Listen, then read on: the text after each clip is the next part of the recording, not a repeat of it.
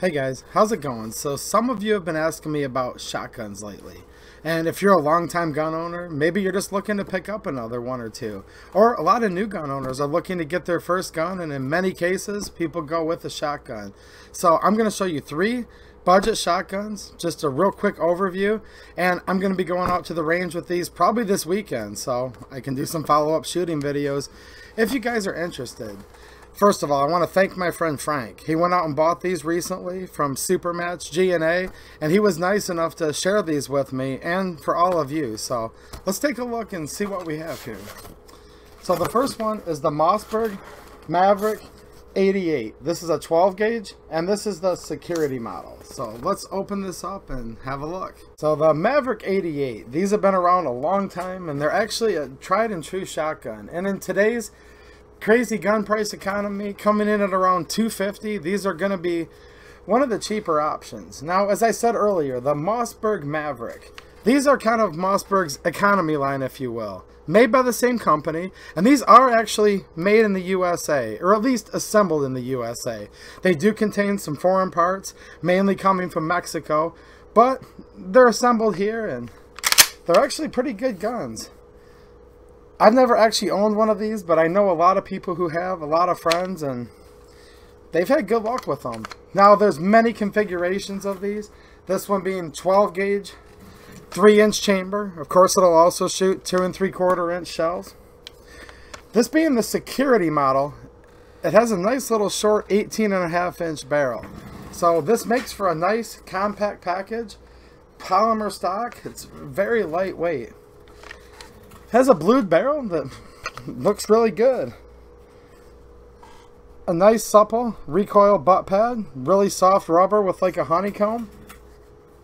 Checkering here on the grip. And yeah, the gun shoulder is very nice. It has a front bead sight that's very easy to pick up. Five rounds in the tube.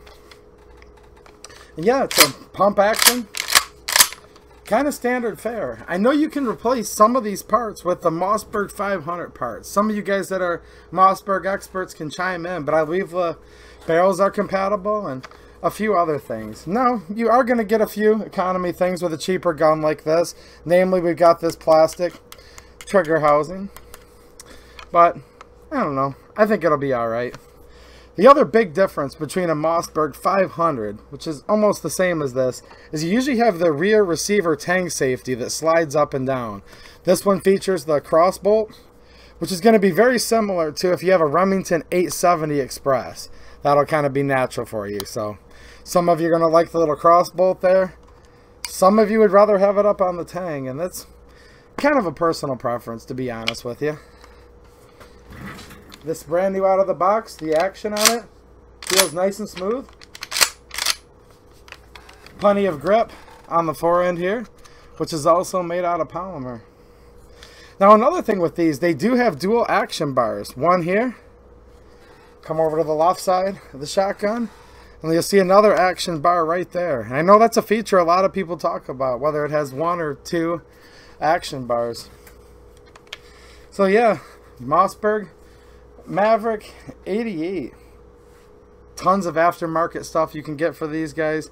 They're kind of a good little entry-level shotgun and like I said, been around a long time and something I would probably recommend.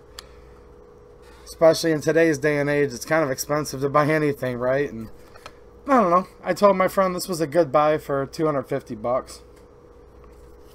Give you guys one more look there. I do like the bluing on the barrel. Very nice. Simple brass bead sight, which is just fine with me. That's how I learned how to shoot a shotgun. But I have a couple more budget ones that are a little bit fancier. So we're going to put this away for now and grab something else. Here's another one that a lot of you guys have probably heard of. And this is the Stevens Model 320 Security. Now, this is going to be my first time looking at this exact one, but I've actually owned a Stevens 320 Security for oh, probably about seven or eight years now. I did take a peek in the box, though, before I started doing this video. And this one's a little newer than mine. A couple minor updates. So, let's take a look at the Stevens. So, the Savage Stevens 320 Security. These have also been around a while, and just like the previous Maverick 88, there's also lots of configurations. This one features a 18 and a half inch barrel, tube fed, 5 plus 1. It also has 3 inch chamber and of course 2 and 3 quarters. So pretty similar as far as that goes. But these shotguns are quite a bit different actually as you can see. This features a rotating bolt. This is a tried and true design that's been around a while. Savage, Stevens, there's been a merger over the years.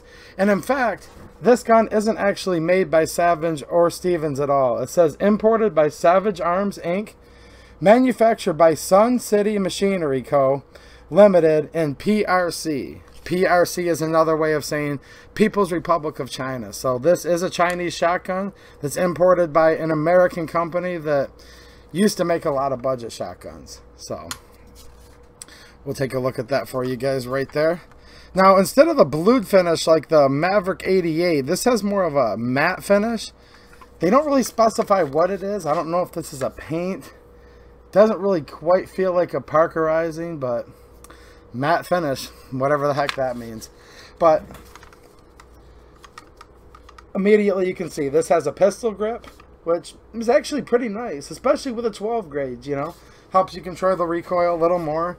It also has a very soft butt pad on here.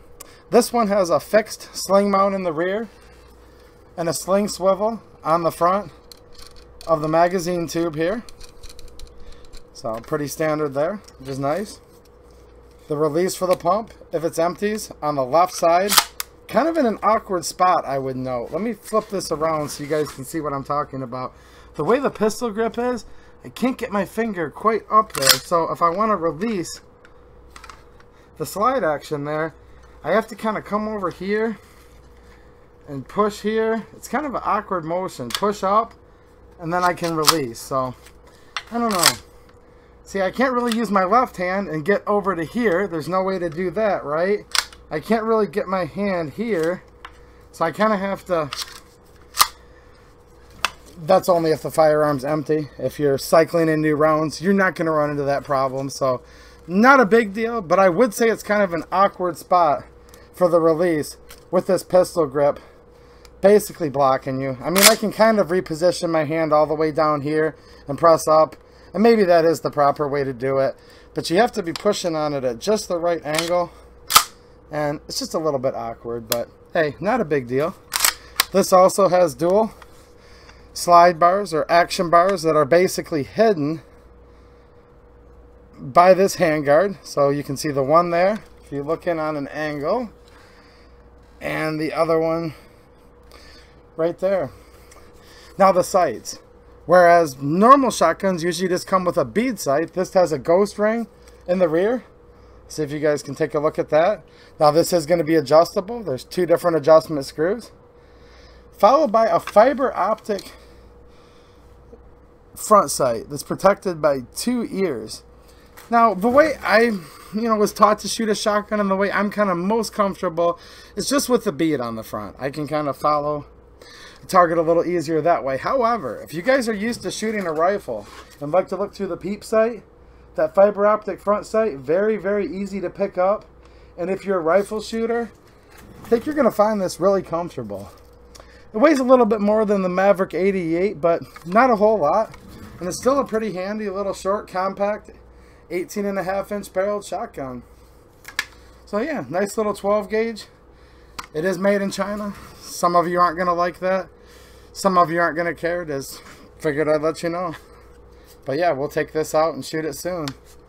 The Savage. Stevens. What was the name of it again? I'm trying to remember the name of the company. Sun City Machinery Co. Ltd. Alright.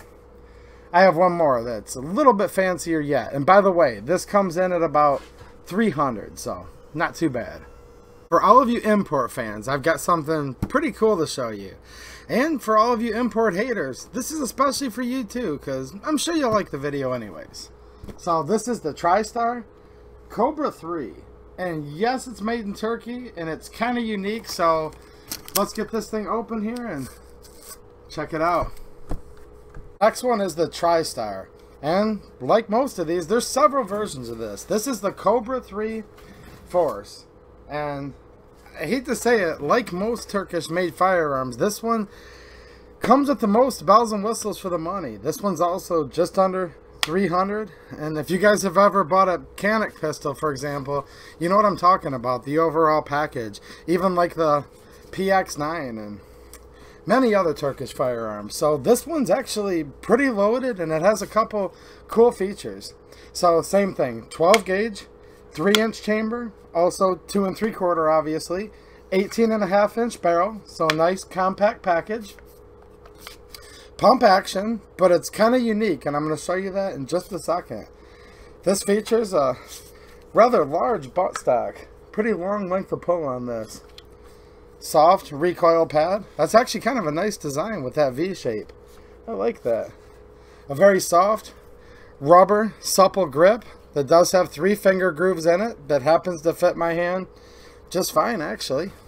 Features a cross bolt safety this model has a Picatinny rail on top and comes with a adjustable rear peep sight. You can see the ring right there. Also, it has a rather large, feels like it's steel, front sight tower with a fiber optic. So just like the last one, this one's going to be a lot like sighting in on a rifle. Very easy to pick up that nice bright red fiber optic. So yeah, if you like shooting a rifle, you're going to be right at home. Also features a Picatinny rail underneath the pump for your flashlight. Vertical grip, whatever you would want up there. Now, here's what's pretty cool. The other ones I showed you were fixed chokes. This barrel's threaded, and it takes the Beretta Benelli style chokes, with this one having a choke muzzle brake on it. So, check that out. Brakes right there, and these are going to be interchangeable. Lots of options for these. Features a sling mount in the front, sling mount in the rear on the buttstock, so that's pretty nice. Now, I was kind of complaining about the release for the pump, for the slide action on the other one. This one's actually right where I would want it. See if you guys can see that there. Right in front of the trigger guard, where I can grip the shotgun a little more naturally. Just push my forefinger up there and now I'm going to be able to release, right? Another thing I noticed that's a pretty cool feature on this. This has a chrome lined chamber, chrome lined barrel. So definitely not going to complain about that. Especially if you're shooting quite a bit of steel shot. That chrome's going to be a lot more resistant to wear than just the regular untreated steel, right? Now, here's the cool part about this. Normally, when you pump a shotgun, you pump it to the rear, okay? pump it forward to chamber a shell, and then repeat. So you actually have to manually push forward and back. Check this out. We're going to rack it to the rear, and I'm just going to let go. This has a spring assist. There's a spring coiled all the way around the action here, where I'm going to have to get the hang of this, and I am going to take these out to the range and see how I like it, but it's supposed to be a lot faster. So you just would, you know, pull back, rack the shell in there, pull the trigger, and go. You guys might have seen these before, and they're it's a pretty neat concept. Definitely let me know what you guys think down in the comments. Do you think this is a pretty cool idea? Or is it going to mess you up because you've been shooting the conventional style? I don't know. I don't really think it's going to mess me up, though, because if I try to just force it forward, it's going to go forward. It just makes it go nice and easy. Yeah, it has a nice long grip. I would say the grip portion is a little bit far out on the pump. So if you look at the actual forend here of this shotgun, it's extremely long. I'm going to guess by looking at it at least 15 inches. My arms aren't extremely long. I feel like I want to hold it right here, okay? And it's okay. I can pump it from there. It's quite the reach for me to reach all the way out to where the stippling is. But hey, different people are built different ways, but I will note this is very long. Now they're hard to see because of this really long shrouded handguard pump here, but this also has dual action bars. See if we can get it to pick that up. It's probably going to be hard to see due to the contrast. There you can see one hiding in the shadows there, and then also on top. So this does have the dual action bars just like the rest. Yeah. Take a peek here. You guys can see that shiny chrome there in the chamber. And the chrome does go all the way down to the end of the barrel. TriStar. I'm not surprised that it's full of features, being a Turkish gun. I know some of you guys love firearms from Turkey and you appreciate the value. Some of you hate everything to do with it, and that's fine. I just want to do this video showing you guys several budget options that are currently available today. Now, all of the three I just showed you were quite a bit cheaper two years ago, three years ago. But in today's times, these seem to be three of the most budget friendly 12 gauge shotguns that were available. They're all kind of in the same family, right? 5 plus 1, 3 inch chamber. Pump action. This one kind of having the most bells and whistles. And definitely having that unique action here. I'm going to go out and shoot the uh, all three of them, right? Let me know down in the comments which one's your favorite, which one you'd like me to maybe spend a little more time with, give some follow-ups and do a more detailed review. And for those of you that have stuck around this long, I'm going to pull something out that I recently got used, and it was budget. And hold on one second here. I'm going to have a little fun here. And here's what we're going to do. You're going to guess what this is. And if anybody guesses, or a few of you do and want a follow-up video, I'll do it. Now, this is an oldie but goodie. This one's been modified a little bit and a little bit rough shape. So I picked it up for a buck fifty just recently here. So old-fashioned budget shotgun. It's actually pretty cool, and believe it or not, I'm kind of excited to have this. I've always kind of wanted one of these. This was a transition model. They did not make it very long. There's two model numbers. There's the exact model number of this shotgun. Then there's another one that's very similar. Kind of just depends on the year. Very slight changes. So I'm going to zoom in on some of the markings. And if you guys guess either one, I guess I'll give it to you. But this is a Remington. It says Remington Arms Co. Ilion, New York. It has a patent date of, they used a really small typeset back then, guys. February 3rd, 1903 and May 18th, 1905. And this particular example is almost exactly 90 years old. I think about 89 years old to be specific. So that'll give you guys a few clues there. Remington. There we go. I think it picked up that roll mark nicely. You guys can look at the patent dates there. This is also a 12 gauge pump action. And I believe this one's also a slam fire. Now, if you'll notice, this is not a sideways eject like the other ones I showed you. This is going to be a bottom eject tube fed shotgun. Now this barrel, I believe, was cut down by somebody at a certain point. Still over 18 inches, it's all good. Externally threaded, okay? So don't let this throw you for too much of a loop. If someone knows something special about this, let me know. But at this point, I'm about 90% sure this is something somebody did aftermarket. Now, if somebody's an old shotgun guru and says, no, no, no, that was a special run they made like this, with this choke on here, let me know. I'm always learning something every day. And that's what I love about the people that watch my videos. You know, you guys are so friendly and so many of you are a lot smarter than me. There you go. There's a picture of the slide bar, the action bar there. Remington, trademark. Most of the gun is blue. This appears to have been painted at one time.